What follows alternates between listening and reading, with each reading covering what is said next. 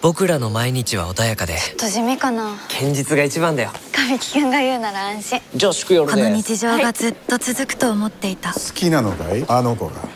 恋はいい刺激的だ。応援しよう。そっち系は得意だね。誰？今日からこのチームにジョインするコージ山本です。シニアエグゼクティブエターナルデザインクリエイター。長い。